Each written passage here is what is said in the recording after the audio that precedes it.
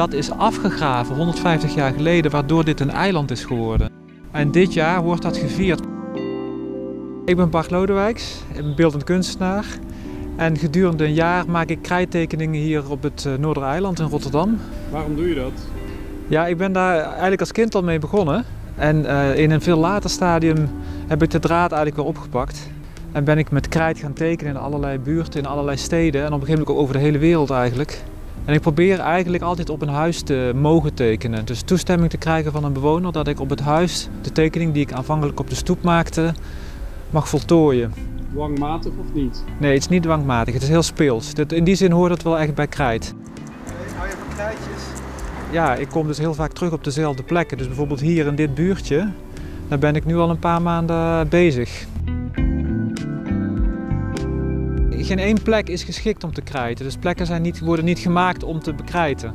Um, wat je hier specifiek op het Noordereiland hebt ten opzichte van de, van de stad, is dat het een gekaderd geheel is. Hè? Dus je kan ervan afvallen. Het is een eiland. Er is meer sociale cohesie hier dan op andere plekken in de stad, merk ik. Het zijn dus rechte lijnen. En die zijn eigenlijk recht omdat de kortste verbinding tussen twee punten een rechte lijn is. Is heel simpel. En dat is vergelijkbaar met een voetstap. Dus je, te voet kan je overal komen en ik probeer al tekenend overal te komen. Nou, ik heb uh, lang gekrijt in Portugal. Ik ben, was anderhalf jaar geleden in uh, Calcutta in India. Ik heb een jaar in Brazilië, Rio de Janeiro, getekend. Maar vaak in, in, in, in stukken van steden waar eigenlijk vooral bewoners komen. Dus waar niet uh, toeristen naartoe trekken. Ik teken niet stiekem, dus ik teken wel altijd in het zicht van, van de straat. Dus ik knoop allerlei gesprekjes aan en die gesprekken die schrijf ik op. En daar verschijnen boeken over. Dus dan zijn er foto's van de tekeningen met stukken tekst. Waarin ik vertel wat mensen mij uh, zowel vertellen op straat of, of, wat ze over de tekening vinden. En op het einde van het project verschijnt er uh, een papieren boek. En, of een papieren boek, eigenlijk is het meer een, een krant. En die wordt huis aan huis geleverd bij de, alle eilandbewoners.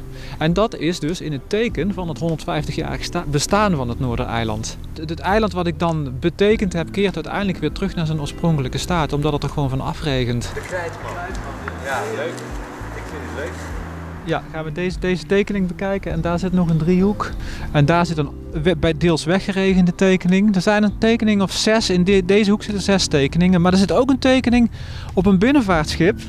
En als we het over vergankelijkheid hebben, want daar gaat het natuurlijk over. Die schipper is verhuisd vorige week. Die is onderweg, ja.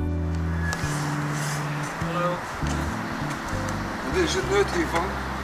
Ja, Weet je zeker zelf ook niet.